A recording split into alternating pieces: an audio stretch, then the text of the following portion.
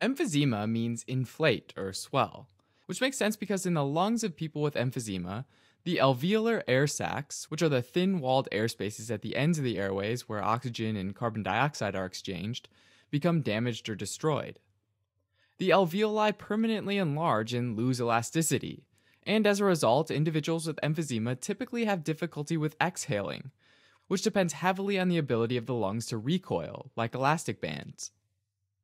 Emphysema is actually lumped under the umbrella of chronic obstructive pulmonary disease, or COPD, along with chronic bronchitis. These two differ in that chronic bronchitis is defined by clinical features, like a productive cough, whereas emphysema is defined by structural changes, mainly enlargement of the air spaces. That being said, they almost always coexist, probably because they share the same major cause smoking. With COPD, the airways become obstructed, and the lungs don't empty properly, and that leaves air trapped inside the lungs. For that reason, the maximum amount of air people with COPD can breathe out in a single breath, known as the FVC or forced vital capacity, is lower. This reduction is especially noticeable in the first second of air breathed out in a single breath, called FEV1, forced expiratory volume in one second, which typically is reduced even more than the FVC. A useful metric, therefore, is the FEV1 to FVC ratio, which, since the FEV1 goes down even more than the FVC, causes the FEV1 to FVC ratio to go down as well. Alright, so say normally your FVC is 5 liters, and your FEV1 is 4 liters. Your FEV1 to FVC ratio would end up being 80%. Now, someone with COPD's FVC might be 4 liters instead, which is lower than normal but the volume of air that they can expire in the first second is only 2 liters. So not only are both these values lower, but their ratio is lower as well. And this is a hallmark of COPD. All that had to do with air breathed out, right? Conversely, for air going in, the TLC, or total lung capacity, which is the maximum volume of air that can be taken in or inspired into the lungs, is actually often higher because of the air trapping. All right, so emphysema is a form of COPD that's based on structural changes in the lungs, specifically a destruction of the alveoli. Normally, though, oxygen flows out of the alveoli and into the blood, while carbon dioxide makes the reverse commute. But when the lung tissue is exposed to irritants like cigarette smoke, it triggers an inflammatory reaction that affects the delicate alveolar walls and affects the flow of gases. Inflammatory reactions attract various immune cells, which release inflammatory chemicals like leukotriene B4, interleukin 8, and tumor necrosis factor alpha, as well as proteases like elastases and collagenases. These proteases break down key structural proteins in the connective tissue layer, like collagen, as well as elastin, which is a protein that gives the tissue elasticity, and this leads to the problems seen in emphysema. In healthy lungs, during exhalation, air whizzes through the airways with high velocity, creating a low pressure environment in the airway. And this is due to the Bernoulli principle, where as a fluid, which includes air, moves at higher velocity, it must have lower pressure. Now, this lower pressure tends to pull the tiny airway inward. Strong, healthy airway walls full of elastin can withstand that pressure and don't collapse. They hold the airway open and allow air to fully escape during exhalation. With emphysema, though, that elastin's lost which makes the airway walls weak and allow that low pressure system to pull the walls inward and collapse during exhalation.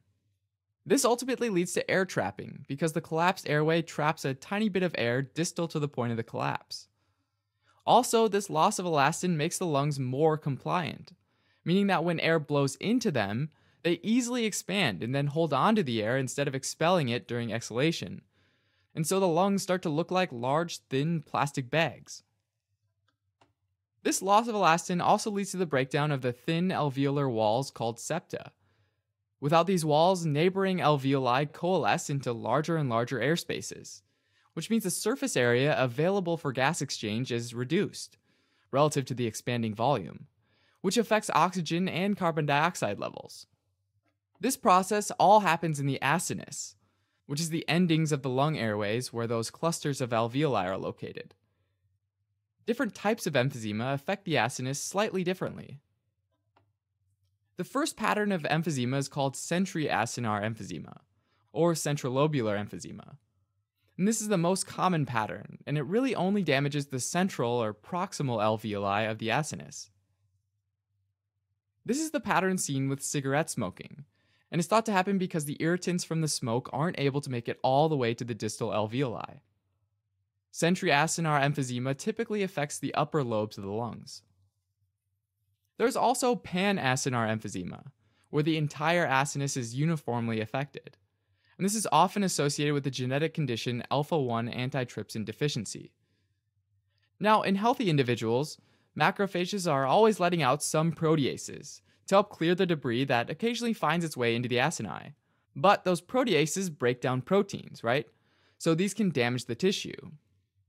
Alpha 1 antitrypsin is a protease inhibitor that's generated by the body to protect against unintended collateral damage from these proteases. People with alpha 1 antitrypsin deficiency don't have these protective protease inhibitors, and so they end up with damaged air sacs that affect the entire acinus. Panacinar emphysema typically affects the lower lobes of the lungs. A third and final type of emphysema is called paraseptal emphysema, in which the distal alveoli of the acinus are most affected. And this type typically affects the lung tissue on the periphery of the lobules, near the interlobular septa that separates each lobule. The thing to keep in mind about paraseptal emphysema is that the ballooned out alveoli on the lung surface can rupture and cause a pneumothorax. People with emphysema typically experience symptoms like dyspnea, which is a shortness of breath, due to the air trapping and decreased gas exchange. To help counteract this, people sometimes exhale slowly through pursed lips, which increases pressure inside the airways and prevents them from collapsing as easily. This way of breathing explains the nickname pink puffers, since individuals are able to oxygenate their blood, but they have to purse their lips to do so. All this constant energy spent on breathing can even cause weight loss. Over time, though, as more and more lung tissue is affected, emphysema can lead to hypoxemia, or low oxygen in the blood. There can also be a cough with a small amount of sputum from inflammation in the small bronchioles that causes excess mucus production via goblet cells. But this is a lot different from the productive cough with lots of sputum seen with chronic bronchitis. Over time, air trapping and hyperinflation of the lungs can cause individuals to develop a barrel shaped chest and on X ray, individuals might have an increased anterior posterior diameter, a flattened diaphragm, and increased lung field lucency. All right, so in normal physiology, there's this process called hypoxic vasoconstriction, where if, for some reason, one area of the lungs has poor gas exchange, then the blood vessels going to that area undergo vasoconstriction in an attempt to shunt blood to an area with better gas exchange. And this works great if hypoxia is localized to one area of the lungs. But when a large proportion of the lungs aren't exchanging oxygen effectively, then that vasoconstriction starts involving too many blood vessels, and this leads to pulmonary hypertension.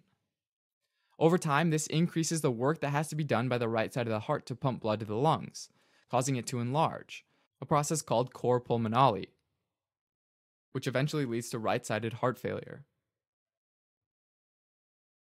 Treatment of emphysema largely involves reducing risk factors and managing associated illnesses. Since smoking's a major player in causing emphysema, stopping smoking's a major player in reducing mortality.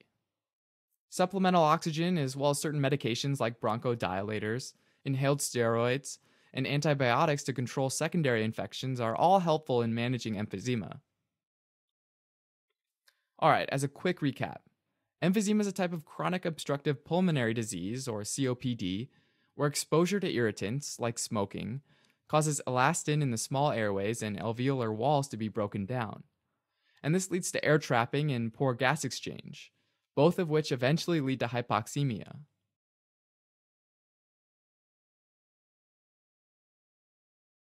Thanks for watching. You can help support us by donating on Patreon or subscribing to our channel or telling your friends about us on social media.